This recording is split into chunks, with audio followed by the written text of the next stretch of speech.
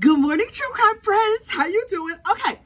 Um, as is my custom, I'm a little bit too excited about true crime this morning, but that is only because Deobra Redden is back in the news. I know you're like, wait, wait, wait, why do I know that name? You know Deobra Redden. He's the dude over there in Vegas when the judge went to sentence him to jail. He was sailing across the courtroom and across the judge's bench, and he landed on her, and they had to wrestle him off of her. It was quite a dramatic scene. Well, Mr. Deobra is back in court, and honey, I need to give you all of the latest news about his case. But first, you know what you need to do. Please like this video and subscribe to the channel. It helps other people find us. Okay, so look, for a bit of history, in case you did not see the video, back in January of 2024, that's what, like seven months ago now, eight months ago now, Deobra was down there at the courthouse and he was like, okay, I've been free on my own recognizances and um, I'm trying to do better with my life and I got a job, but there's a little incident that I just gotta go talk to this judge about real quick, and I'm sure she's gonna give me probation and everything is gonna be fine. And so apparently, Mr. Redden had a long history of um, domestic violence and mental health issues and all kinds of stuff.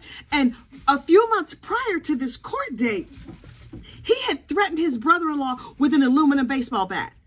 Yikes anger issues much. And so he went to jail and they were like, oh, sir, all your herbs and spices in your brain is all messed up. And so they gave him some medication and it calmed him down. They had to send him over there to the nervous hospital. The people at the nervous hospital like, okay, take these pills and you're going to be good. So he took the pills and he was good and he was calm and everything is fine. And then they released him to go out here in the streets with me and you, which probably, P.S., not a good idea in his particular case. So, um, while he was out free, just like roaming the neighborhood over there in Las Vegas, he didn't take his medication. He couldn't get to the CVS. I don't know what the story was, but he did not fill his prescription. And so his brain went all ticklish again. But he was like, okay, I was able to hold it together good enough to get a job and to get all my life in order. So I'm just going to go and talk to this judge. I'm starting my new job next week. I'm going to talk to the judge and I'm going to explain to her that, yes, my brain is slightly ticklish, but I have a new job that I'm starting. So if you please just give me probation, then I can go work my job and I promise to be a good, solid citizen.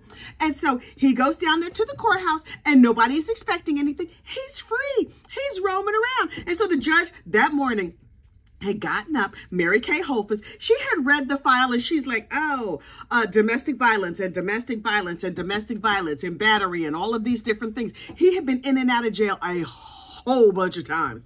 And so she's like, okay, sir, um, I heard your nice speech and you're asking for probation, but based on this history, sir, I don't, I think we need to do something different with you this time. Now look, what happened next happened real, real fast. But when they played it back in court yesterday, they slowed it down and played it in slow motion so you could see every single thing. So let me explain to you what happened once it became clear that the judge was going to sentence him to jail.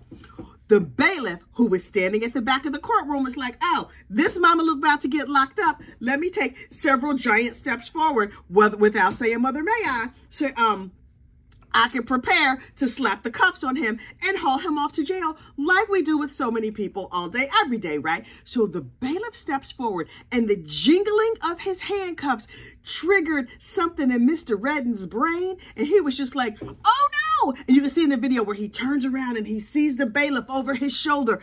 And then he, in one leap, clears the table that he was standing in front of, the defense table.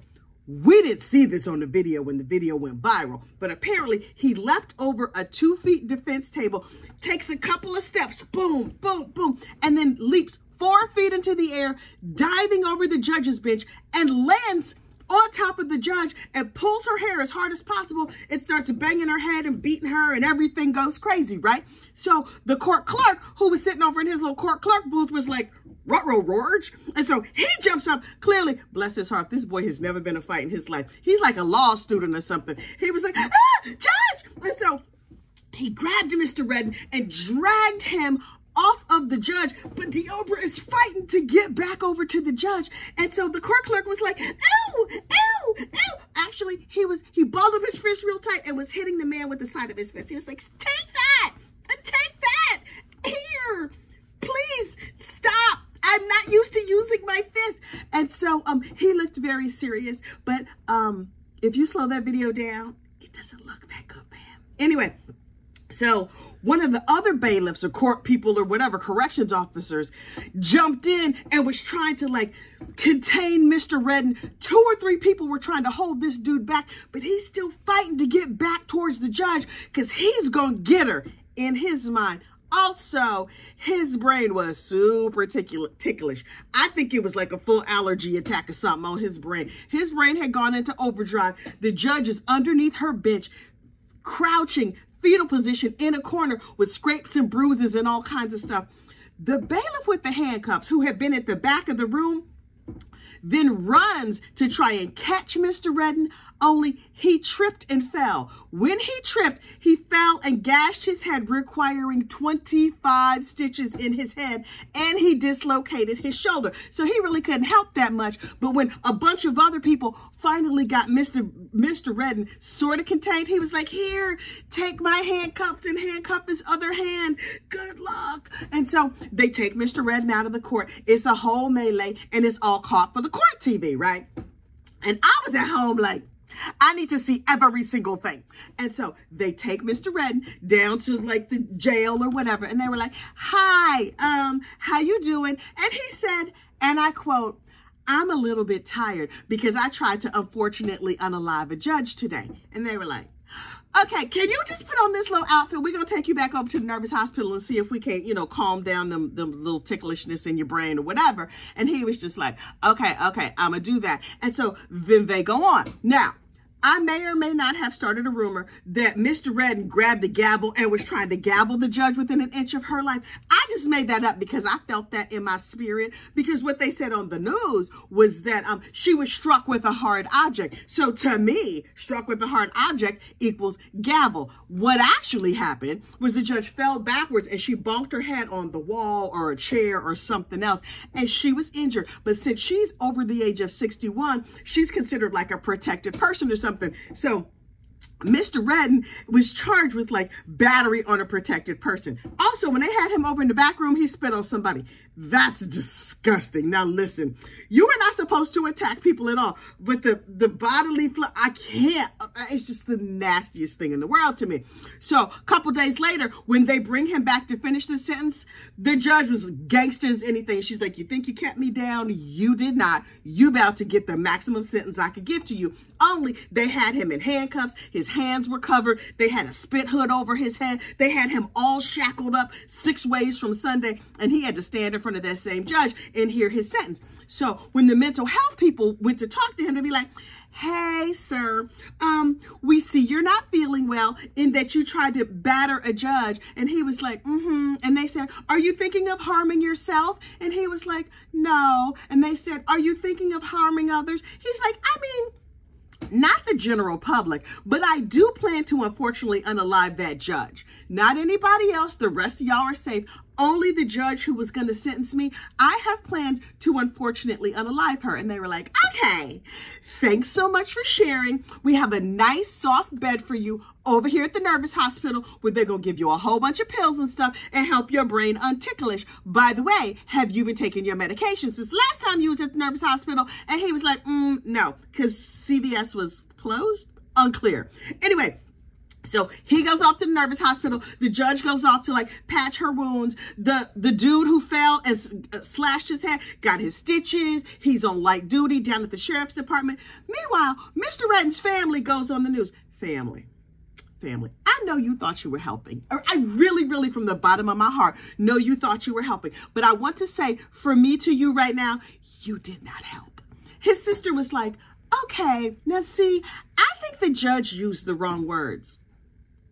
Ma'am, that's not how society works. You can't be like, oh, this person said the wrong thing to me, so I'm going to gavel them within an inch of their life. You can't, that, no, no, that, mm-mm, mm-mm. The sister was like, see, um, if the judge had used the proper tone of voice to talk to my crazy brother, then he wouldn't have done that thing. Society has failed him.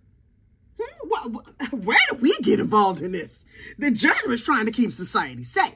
This sister went on to explain that uh, Deobra was born with a disadvantage. And I was like, okay, say more. She was like, he was born addicted to crack cocaine. Oh, Well, that is not society failing him, honey. That's his mom and daddy failing him. But okay, go ahead and say more. She was like, he was born with severe mental health issues and um he was born with narcotics in his system. He'd been a mess since he was a baby. And so we've tried for a real long time to get him help. And sometimes he was okay and sometimes he's not. Mostly he was just going out here in the streets, running amok and harming himself and others. Ma'am, are you, uh, uh, is this your way of helping your brother? You're not helping. Um, and so she was like, so, I mean, some people have good days and some people have bad days. I don't know if you know, I've had some very, very bad days in my life. Many people have had very bad days in their life. None of those days, including trying to unfortunately unalive, un, unfortunately unalive a judge. But okay, I'm willing to hear you, girl. Keep talking although this is a terrible idea. Child, I'm the town gossip, so I want you to tell me every single thing. And she was like, some people feel like, you know, you, you have a good day and you have a bad day. If he strings together two, three weeks of good days, that's a lot for him. And so I think the whole society should give him a break. And I was like, girl, if he can only string together two good weeks and that's a lot for him, I think the whole, whole society should put him in a nice soft place with padded walls and floors and maybe meals slid through a hole in the door. I don't know. I, am not sure what the judicial system can do for him, but what I hope the judicial system does for him is not let him out free with me and you, because no thank you. Um, so, ma'am, sister, sh sh sh she needs some of them shut up classes, some shut up pills, and some shut up homework, because she should have shut up. So, Apparently, Mr. Redden pleaded guilty to all the, yes, I leapt across things. And yes, I like, you know, I might have harmed others. Yes, I might have spewed on a on a deputy or something but that um trying to unfortunately unalive the judge yes i said in like recorded statements and everything that i explicitly was trying to unfortunately unalive that judge but um i'm pleading not guilty by reason of mental disease and defect okay so you want an NGRI, not guilty by reason of insanity. Got you. Okay. Um, yes, but I think maybe you should go by guilty by reason of insanity. Like, yeah, you did that. Also, you were insane. Can I please just go have myself a nice bed down at the Nervous Hospital? So yesterday, um, they had Mr. Deobra Redden fully medicated in a suit. His hair was looking a little messy, but okay, okay, fine. In a suit and a tie, sitting there, shaved up. He looked halfway decent. And I was like, if you didn't know better, you would just think he was an average citizen with a bad haircut. Okay, cool. So he's sitting there and the prosecutor gets up and she tells the whole story that I just told you, right? the judge and everybody was scared and you know he tried to gavel her only he might not have used a gavel unclear anyway um the judge was fearful for her life and he said over and over i was trying to unfortunately unalive the judge. So i was like mr defense attorney what you gonna say? Because he he done said the quiet part out loud. Wait while the prosecutor was giving her opening statement. As is common these days, they had the Zoom up and running because some of the experts and some of the other people were going to appear on Zoom. Why did somebody Zoom bomb the courtroom?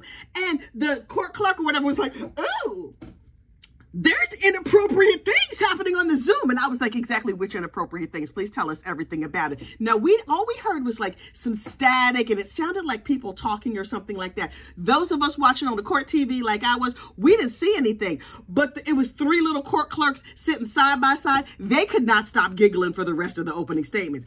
Instead of watching the prosecutor, I was watching them lean over and giggle and talk to each other. They were like, it was inappropriate. It was inappropriate. And I was like, okay, either tell us exactly what was inappropriate or stop talking about it. Also, um, court clerks, if y'all just want to get down in my comments or hit me up on my email or something, I want to know every single thing about the inappropriate content. And um, I promise to share the information with no attribution, just so you know. That's gossip, rumor, mail at gmail.com. Anyway, so um, the opening statements got Zoom bombed, but they kept on rolling. They kept on rolling. And then the defense attorney got up and was like, Hi, thank you so much for coming here.